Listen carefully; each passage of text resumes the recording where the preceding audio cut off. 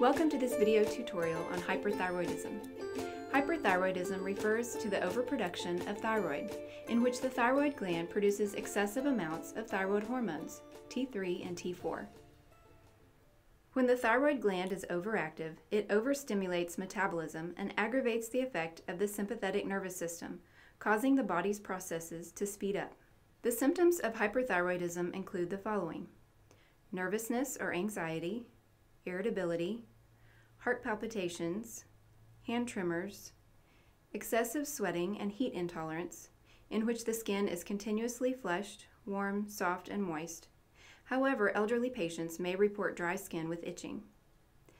Tachycardia or fast heartbeat, atrial fibrillation, and elevated systolic blood pressure.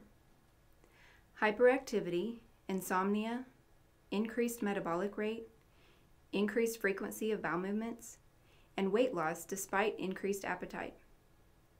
Osteoporosis and fracture, fine brittle hair with hair loss, muscle aches and weakness, fatigue, light or infrequent menstrual cycles, and problems with fertility. A goiter or enlarged thyroid gland may also develop. The course of the disease may be mild or it may progress continuously if untreated, leading to emaciation, intense nervousness, delirium, disorientation, and eventually heart failure.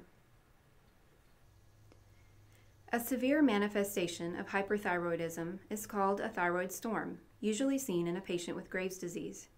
It is a medical emergency manifested by a severe increase in metabolism, usually precipitated by a major stressor, such as infection, trauma, or surgery. It can also occur when a patient is inadequately treated or stops taking prescribed therapy.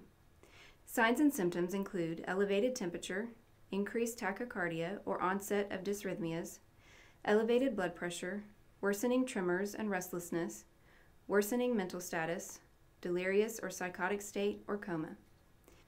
Patients with thyroid storm are managed in a critical care unit with focused care on lowering their metabolic rate as fast as possible and managing their cardiovascular status and hyperthermia.